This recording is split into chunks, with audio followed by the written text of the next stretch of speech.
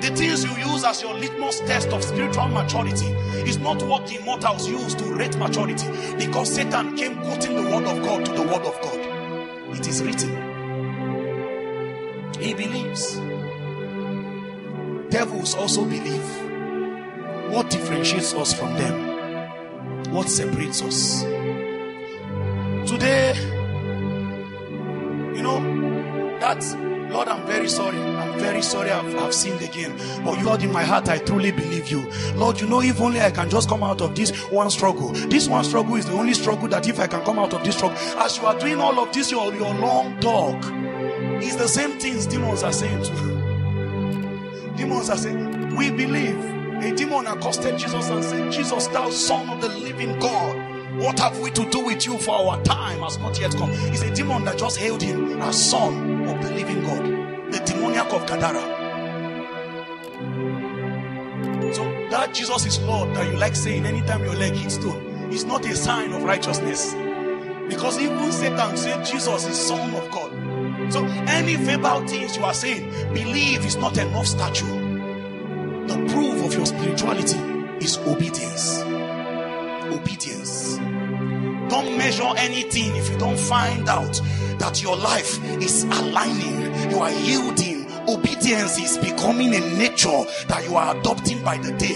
The proof of maturity in the spirit is obedience. It's not even knowledge, it's not your ability to, to bring doctrinal exegesis. Those things don't hold water in the realm of immortality.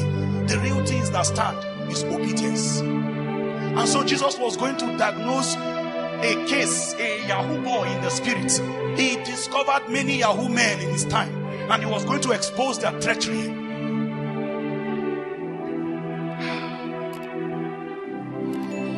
Chapter 6, verse 46, quickly.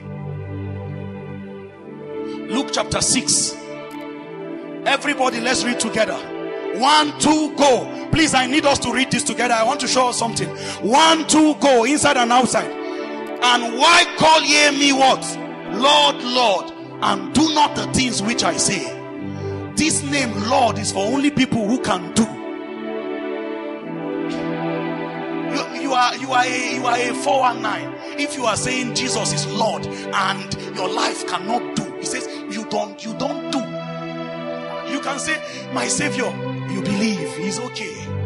He says, who are this strange category of Yahoo boys who are calling me Lord, but they don't have the, the statue to do?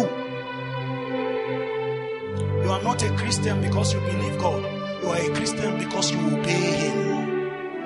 Obedience is better than sacrifice. These things are sensitive matters. We are already touching those, those delicate balances where the power of sin was built upon all the areas where Satan thought if if he if he can keep you in this level, he knows that when eventually you will be called to report in the shores of immortality, that you will not be ready. All you will have is a is a is a is a is a, is a, is a, is a verbal declaration. Jesus is Lord. But even devils too can say that. What differentiates you then? Why do you call me Lord, Lord, but you don't